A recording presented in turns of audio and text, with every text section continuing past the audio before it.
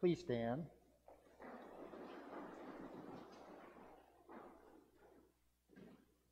Light and peace in Jesus Christ our Lord. Thanks be to God. It is not ourselves that we proclaim. We proclaim Christ, Jesus as Lord, and ourselves as your servants, for Jesus' sake. For the same God who said, Out of the darkness let light shine, has caused his light to shine within us, to give the light of revelation, the revelation of the glory of God in the face of Jesus Christ. Let us pray. Almighty God, you have poured upon us the new light of your incarnate word. Grant that this light, enkindled in our hearts, may shine, may shine forth in our lives. Through Jesus Christ our Lord, who lives and reigns with you in the unity of the Holy Spirit, one God, now and forever. Please join me in reciting the Phos Hilaron, found on page 112 of your Book of Common Prayer, or page 3 of your worship booklet. O gracious light, pure brightness of the ever-living Father in heaven, O Jesus Christ, holy and blessed, now as we come to the setting of the sun, and our eyes behold the vesper light, we sing thy praises, O God, Father, Son, and Holy Spirit. Thou art worthy at all times to be praised by happy voices, O Son of God, O Giver of life, and to be glorified for all the worlds.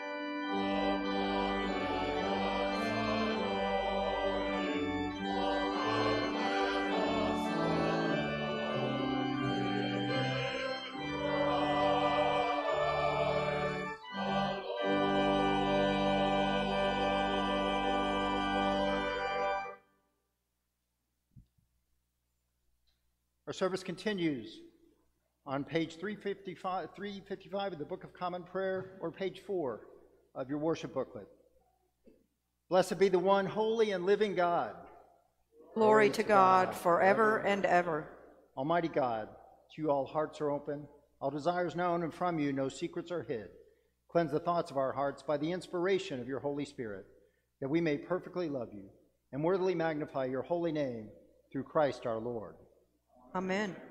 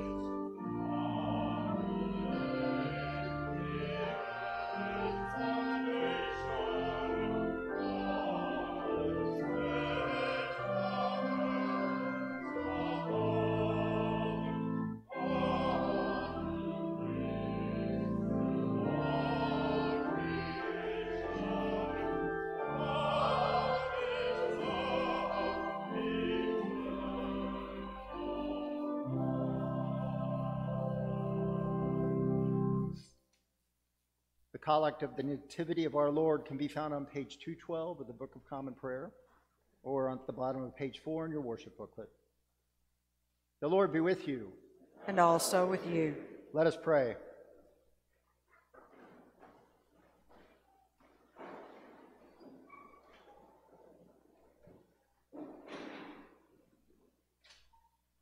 O God, you have caused this holy night to shine with the brightness of the true light.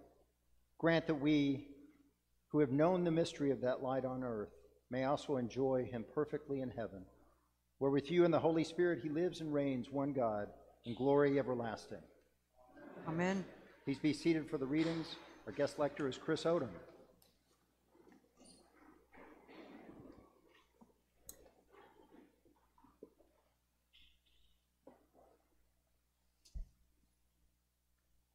A reading from the book of Isaiah. The people who walked in darkness have seen a great light. Those who lived in a land of deep darkness, on them light has shined. You have multiplied the nation, you have increased its joy. They rejoice before you as with joy at the harvest, as people exult when dividing plunder. For the yoke of their burden and the bar across their shoulders, the rod of their oppressor, you have broken as on the day of Midian. For all the boots of the tramping warriors and all the garments rolled in blood shall be burned as fuel for the fire. For a God, for a child has been born for us, a son given to us. Authority rests upon his shoulders, and he is named Wonderful Counselor, Mighty God, Everlasting Father, Prince of Peace. His authority shall grow continually, and there shall be endless peace for the throne of David and his kingdom. He will establish and uphold it with justice and with righteousness from this time onward and forevermore. The zeal of the Lord of hosts will do this. The word of the Lord. Thanks be to God.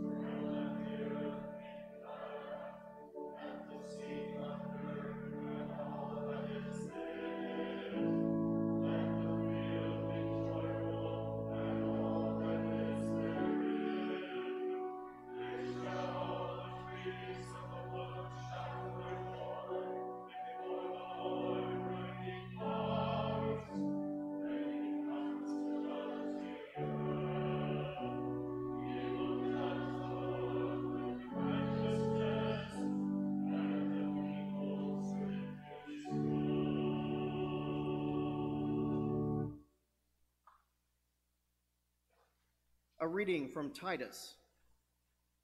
The grace of God has appeared, bringing salvation to all, training us to renounce impiety and worldly passions, and in the present age to live lives that are self controlled, upright, and godly, while we wait for the blessed hope and the manifestation of the glory of our great God and Savior, Jesus Christ.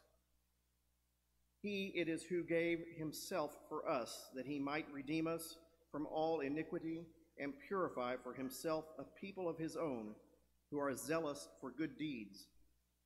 The word of the Lord. Thanks be to God.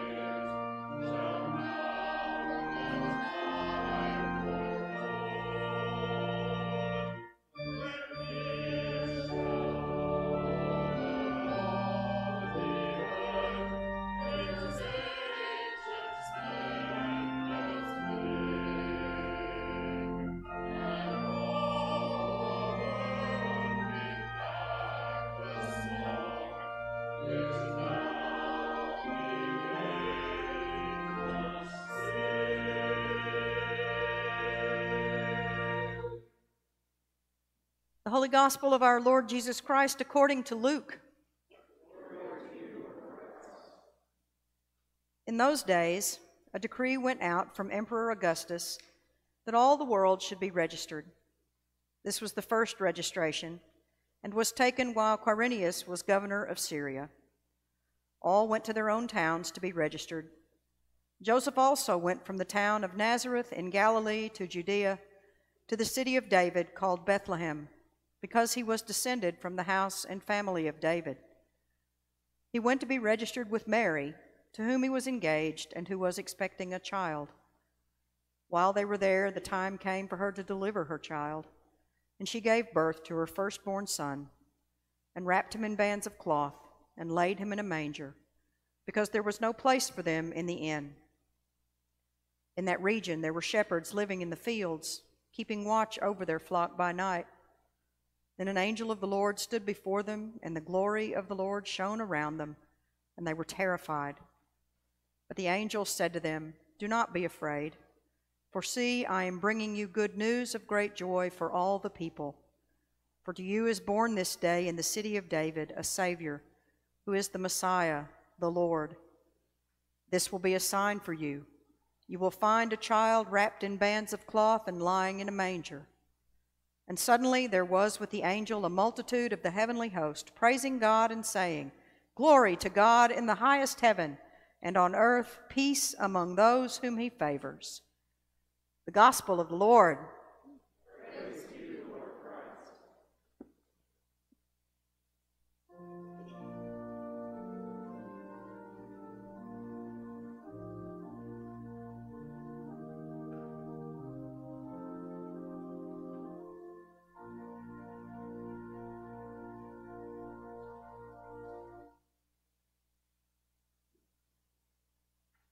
Please be seated.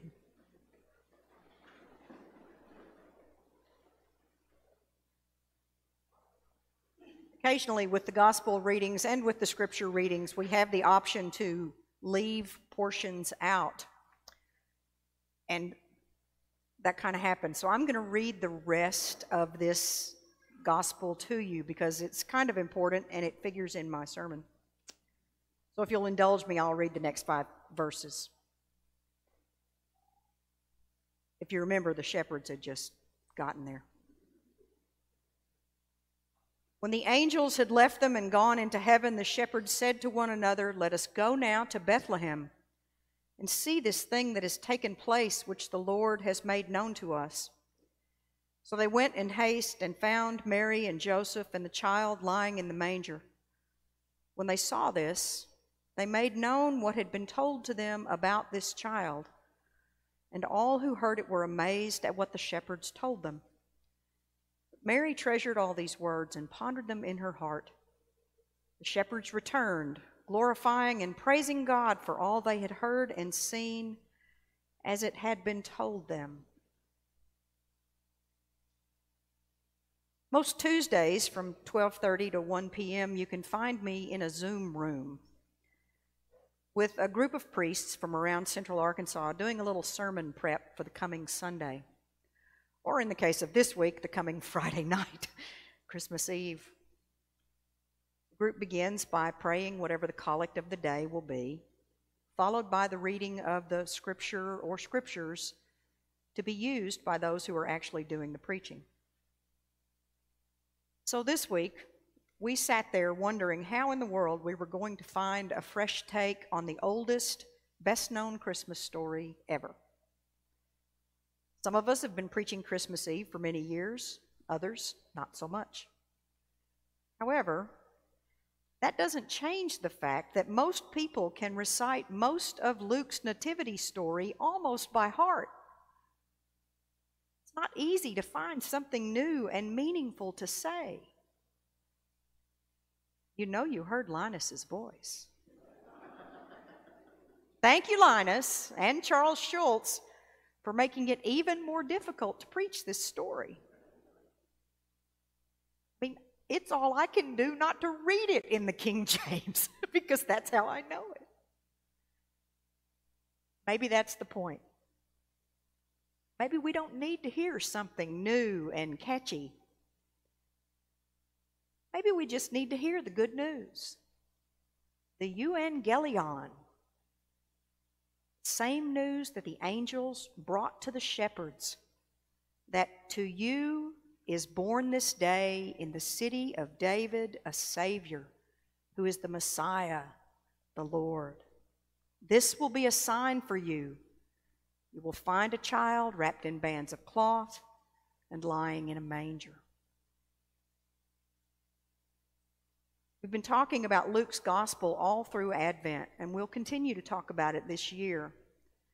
And I mentioned a couple of weeks ago that it continues to be all about the leveling of the playing field, a reversal of great proportions, a lifting up of the lowliest folks.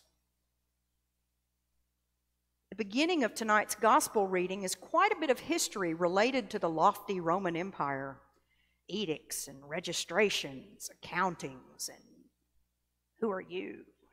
Who do you belong to? Who's your family? In the South, we would say, Who are your people? And as good and dutiful citizens, Joseph and Mary make the long journey to Bethlehem, the city of David to take care of their business. They go to Bethlehem because Joseph was descended from David. But the good news of the Savior's impending birth doesn't come from anyone in the lofty and powerful Roman government. The good news, brought by the angels of the Lord, is given to the lowly shepherds. Not senators, not stockbrokers, not superheroes, shepherds. And these shepherds are so overwhelmed by the angel's message that they immediately drop what they're doing, leave their flocks, and go to Bethlehem to see this thing that has taken place, which the Lord had made known to them. And when they find Mary and Joseph and the baby, just as the angel foretold, the shepherds relay the angel's message to Mary and Joseph. These lowly shepherds become some of the first evangelists by sharing the good news that a Savior, the Messiah, is born. And the shepherds then returned to their flocks, glorifying and praising God for all they had heard and seen as it had been told to them. Few minutes ago, I sarcastically thanked Charles Schulz for making this such a hard scripture to preach. In his classic animated film, A Charlie Brown Christmas, Linus always plays a shepherd. And he always has his trusty blue blanket for security, even fashioning it into a shepherd's head covering for the Christmas play. But there is one interesting moment in the Christmas pageant rehearsal that bears noticing when Charlie Brown asks in anguish and frustration, Isn't there anybody who can tell me what the true meaning of Christmas is all about? Linus steps to the center of the school stage, drops his beloved blue blanket, and recites in King James perfection the Christmas story from Luke. Did you hear what I said? Linus drops his security blanket to tell the good news. The shepherds dropped everything. Go and tell the good news that Christ is born a Savior. Like the real shepherds who dropped everything to go tell the good news, Linus drops his most beloved possession the one thing he thinks will keep him safe to tell the story of the Savior of the world. As we move into the new year, what can we drop to tell the story of the Savior? What can we put down to share the good news? Can we lay aside those things that we think keep us safe and secure to tell a story of real salvation? For me, that would involve laying aside my fears about things I cannot control and my frustration with feeling so out of control.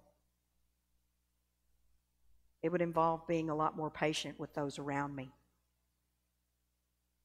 It would involve a lot more work on gratitude rather than griping. Back in August, there was an article in the Atlantic magazine that speaks of something I think many of us feel. The title of the article is The Opposite of Toxic Positivity by Scott Barry Kaufman. He says toxic positivity is a kind of denial of reality. Telling someone to stay positive, especially in the middle of this global crisis, missing out on an opportunity for growth, may even backfire and make them feel worse, especially if they think they can't be positive. Kaufman cites as the antidote to this toxic positivity an idea from Viktor Frankl, an existential humanist psychologist and Holocaust survivor. Find some time to read Man's Search for Meaning by him. Frankl's idea is one of not toxic positivity, but tragic optimism, which involves the search for meaning amid the inevitable tragedies of human existence.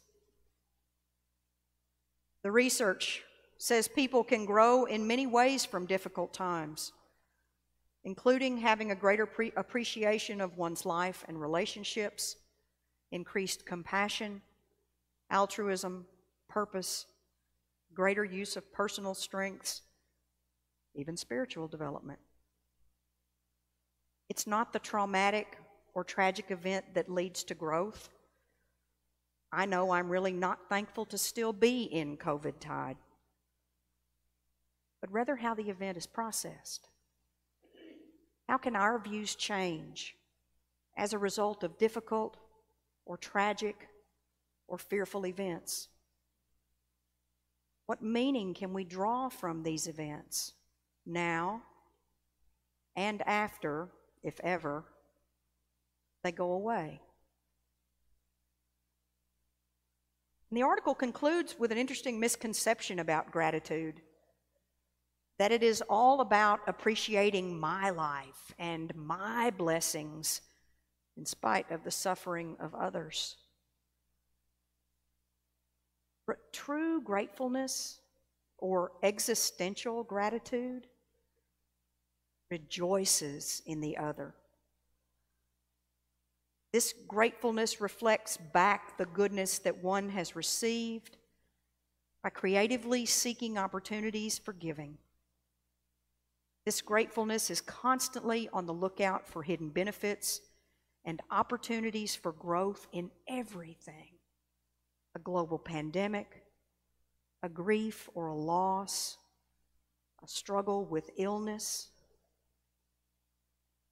As the article says, Gratitude is not just a switch to turn on when things go well, it is also a light that shines in the darkness.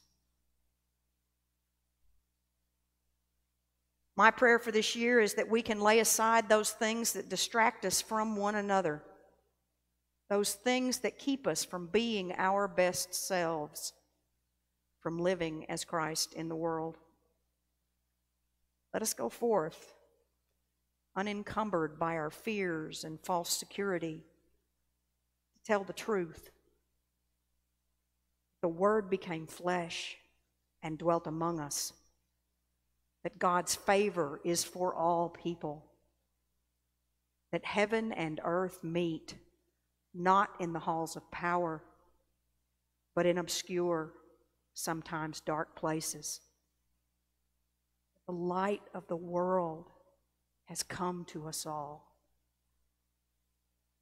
Can we be modern day shepherds of the good news of God in Christ Jesus, even in the face of ongoing trouble and fear and frustration? I think we can. If we remember what the angel of the Lord said Do not be afraid. For see, I am bringing you good news of great joy for all the people. That's what Christmas is all about, Charlie Brown. Amen.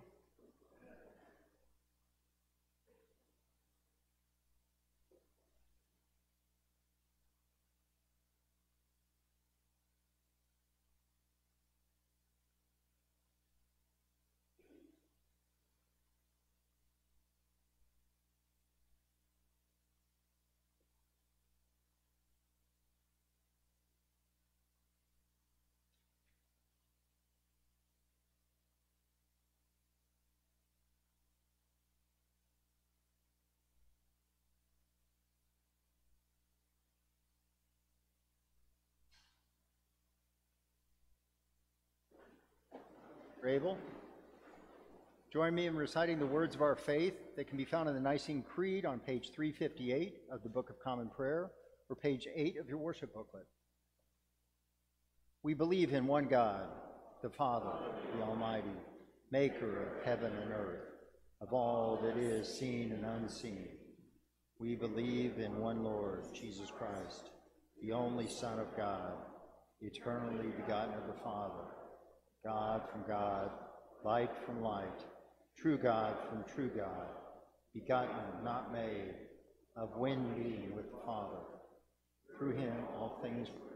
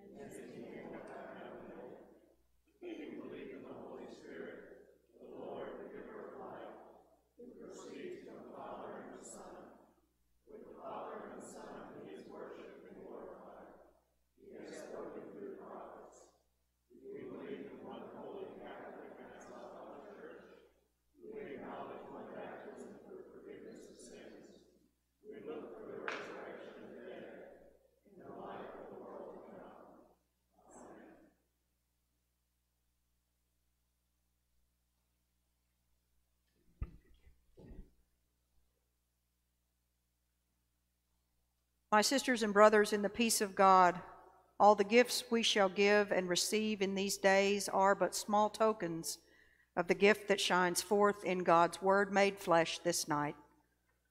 From grateful hearts, let us intercede for all who find themselves longing for this deepest, truest gift, saying, Lord, hear our prayer.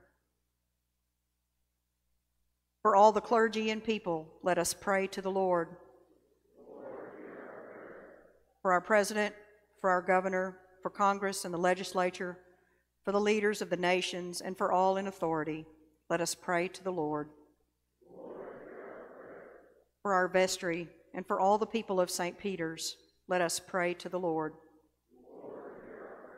For the community of Conway and Faulkner County, let us pray to the Lord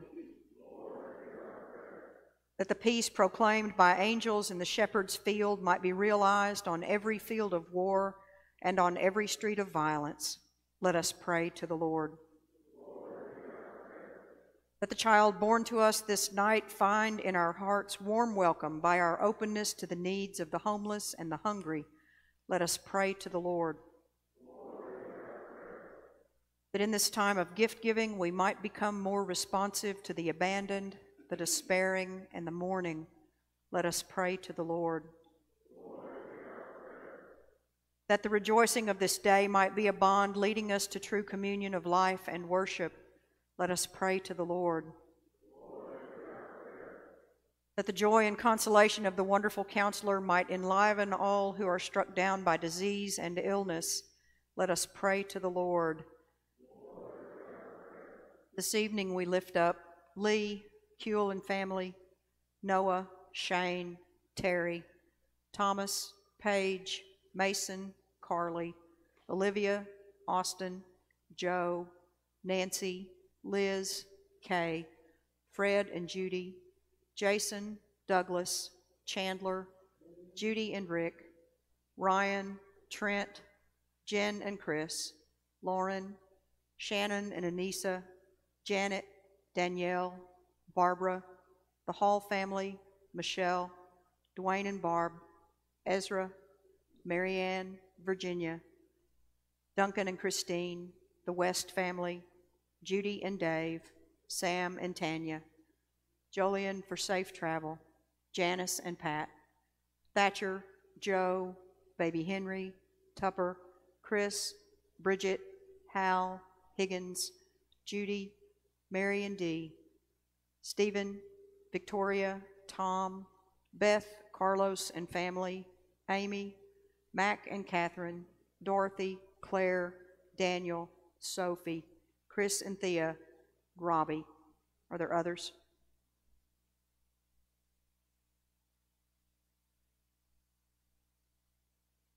We pray in loving support for the Wisdom House, Muaz, Natalie, Momina, Kansa, Rasha, and all those impacted by the conflict in Syria, for the people of Afghanistan. In continued prayer for Sarah Edmondson, Jackie Soroy, Carol Sue Greenwell, Eleanor Smith, Frank and Betty Jordan, and for our seminarian, Cody Blackman. That the blessed hope we celebrate this night might be the fulfillment of all who have gone before us in faith. Let us pray to the Lord. This evening, we give thanks for the people of St. Peter's and virtual and in person visitors with us this week. We give thanks for Marilyn and Lynn Rishkovsky, Jay Rude and Stacy Jones, Bob and Dee Sanders. We give thanks for our Christmas meal volunteers and cooks. We give thanks for the Conway SDA Church. We give thanks for the Muslim Student Association at Hendrix. And we give thanks for the Reverend Aber Ruiz and St. John the Apostle in Chichicastenango, Guatemala. we give thanks for St. Alban Stuttgart, St. Peter's Tollville, and all Episcopal day schools.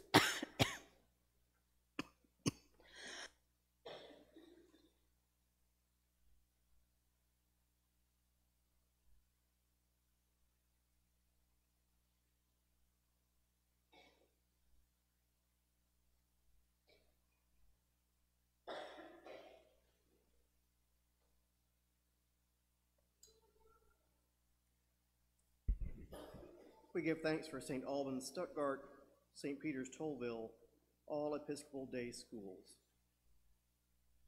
For those who have passed before us, we hold them in light this night of new birth. We pray for the departed Josephine, Esta, Dan, and Henry.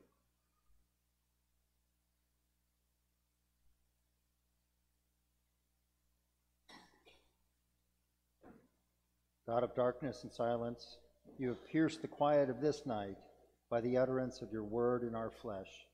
May our words of praise and petition be strong echoes of our Christmas word, so that all might come to the peace you promise in Jesus, who is the Lord and God this night and forever. Amen.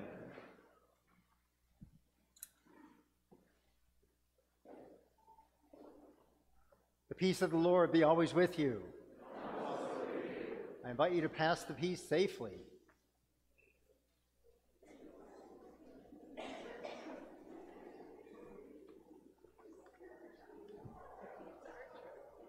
That, that's what I was afraid. I'm, I'm going to say it wasn't the incense.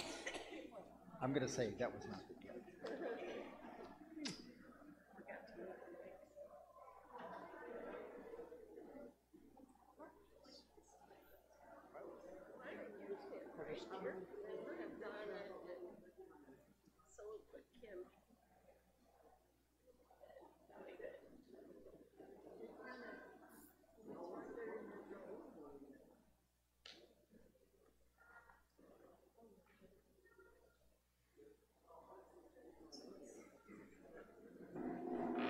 Good evening. Good evening. And Merry Christmas, everyone. Some announcements. I think first, though, I'd like to really appreciate our choir, our musicians, our singers, everything. Was really amazing. Amazing.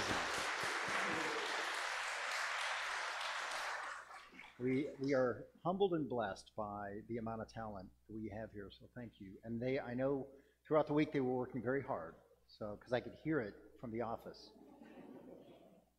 Uh, well, thank you for coming to this beloved Christmas Eve service. It's probably the favorite for almost everyone in here. And we especially welcome any guests and visitors uh, and know that you are welcome here at St. Peter's. Uh, if you feel so called, we invite you to join us tomorrow, Christmas Day, at 9 a.m. for a more meditative service featuring Rite One for prayer book nerds. Uh, and uh, it's a beautiful service. Uh, and then this Sunday, December 26th, there'll be one service at 11 o'clock, also here in the nave. So you have many ways to join us this, this uh, wonderful weekend.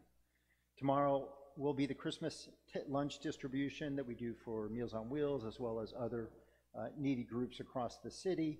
And uh, it starts immediately following this service over in the parish hall. And if you feel like assembling food, delivering food, you know, just whatever you want to do, get, supporting the people who are doing all the above, preparing the food, there's a lot that goes into it. So uh, we have 85 uh, people that we're distributing through Meals on Wheels and probably another 50 to 75 others. So it's, it's a great event. And thanks to everyone who helped prepare some of this. I mean, the stuff came in all day and it just looks beautiful. Our popular gospel reflection gatherings uh, continue on Sundays at 10 a.m. in the library. Come join to listen to what Jesus is saying us, saying to us in that specific time and place. So that happens in the library 10 o'clock before the Sunday service. Um, our, there are two Epiphany services planned uh, for January 5th and 6th. We want to make sure that if you feel called to join or to be at an Epiphany service uh, during the midweek, uh, the first week of January, that you have something here at St. Peter's. Uh, our Wednesday evening service will be a uh, sort of an Epiphany Eve service, and then we will have a noonday service on Thursday, January 6th. So consider joining us.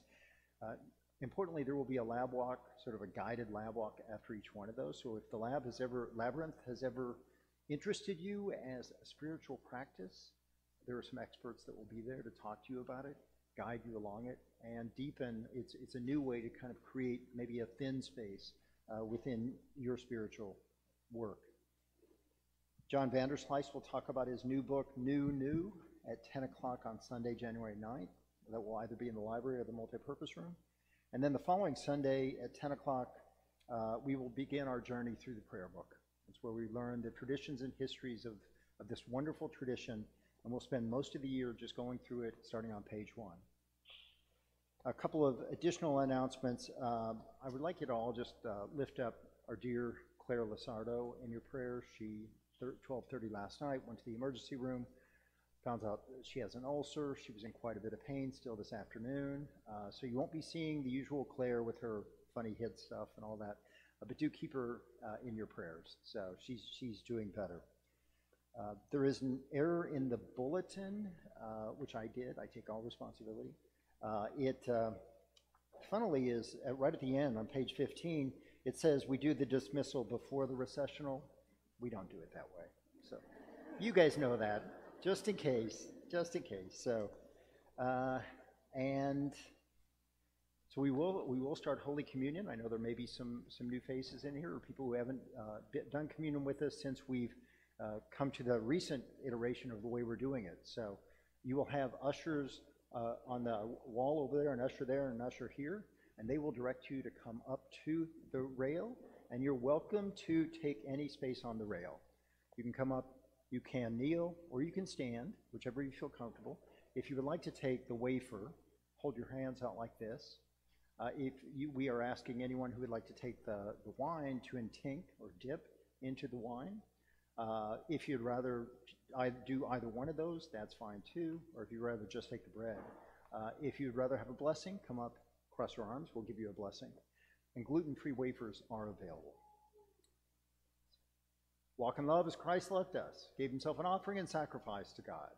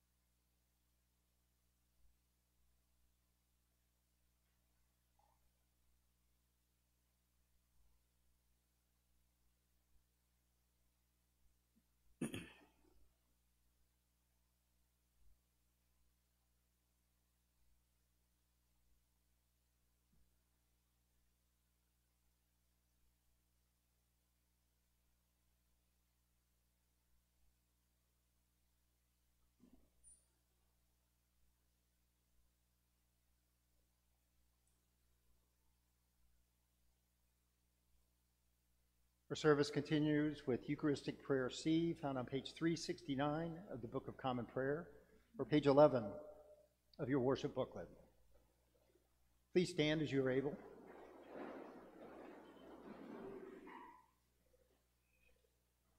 The Lord be with you. And also with you. Lift up your hearts. We lift them to the Lord. Let us give thanks to the Lord our God. It is right to give him thanks and praise. God of all power, ruler of the universe, you are worthy of glory and praise. Glory to you forever and ever. At your command, all things came to be the vast expanse of interstellar space, galaxies, suns, the planets in their courses, and this fragile earth, our island home. By your will, they were created and have their being. From the primal elements, you brought forth the human race and blessed us with memory, reason, and skill. You made us the rulers of creation, but we turned against you and betrayed your trust, and we turned against one another. Have mercy, Lord, for we are sinners in your sight. Again and again, you called us to return.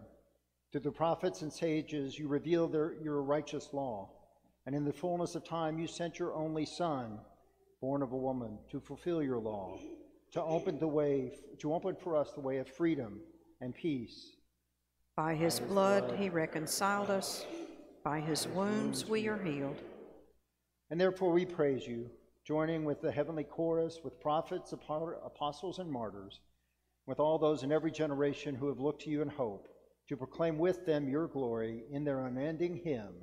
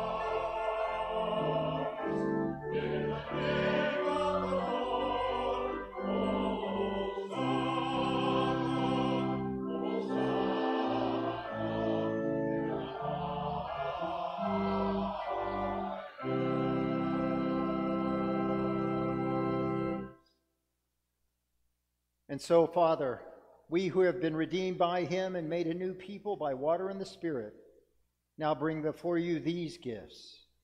Sanctify them by your Holy Spirit to be the body and blood of Jesus Christ our Lord. On the night he was betrayed, he took bread, said the blessing, broke the bread, and gave it to his friends, and said, Take, eat. This is my body, which is given for you. Do this for the remembrance of me.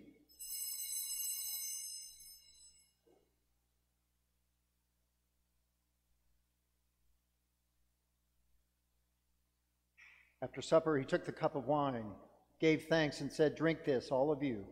This is my blood of the new covenant, which is shed for you and for many for the forgiveness of sins. Whenever you drink it, do this for the remembrance of me.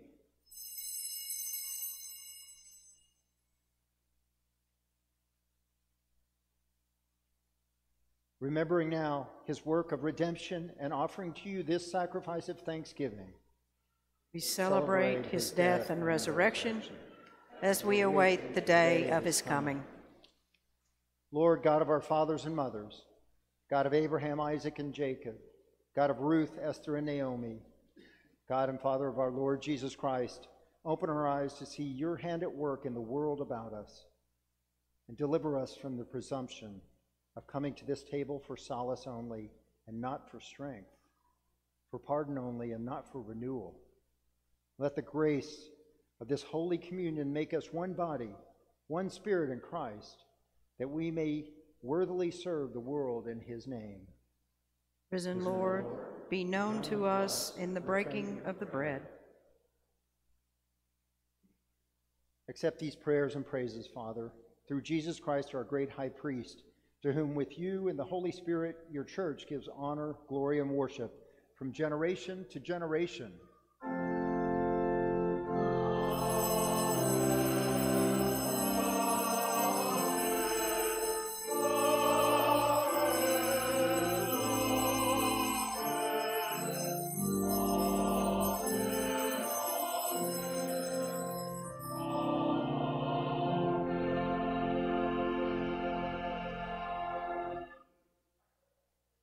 As our Savior Christ has taught us, we are bold to say, Our Father, who art in heaven, hallowed be thy name.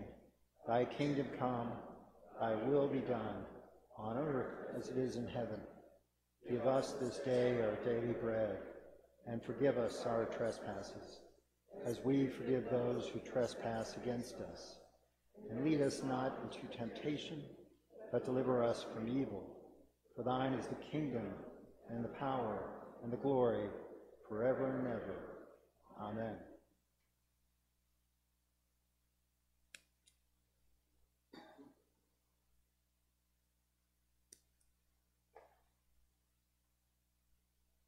Hallelujah. Christ our Passover is sacrificed for us.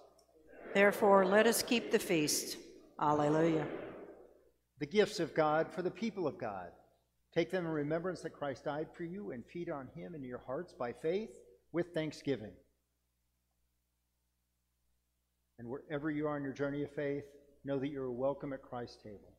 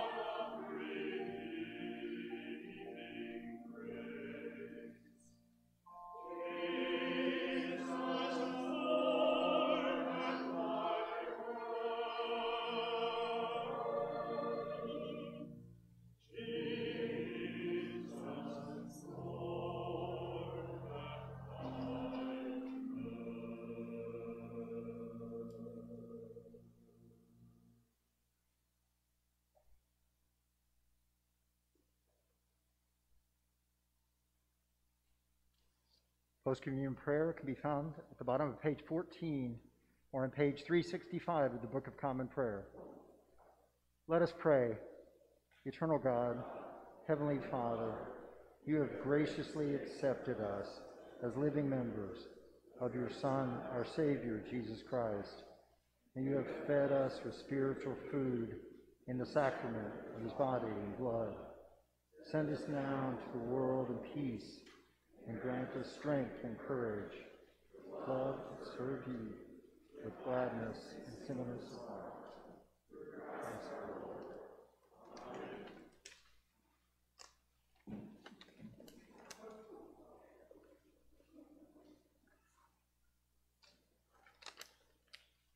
May Almighty God, who sent his Son to take our nature upon him, bless you in this holy season, scatter the darkness of sin, and brighten your heart with the light of his holiness. May God, who sent his angels to proclaim the glad news of the Savior's birth, fill you with joy and make you heralds of the gospel. Amen. May God, who in the Word made flesh joined heaven to earth and earth to heaven, give you peace and favor. And the blessing of God Almighty, the Father, the Son, and the Holy Spirit be upon you and remain with you forever.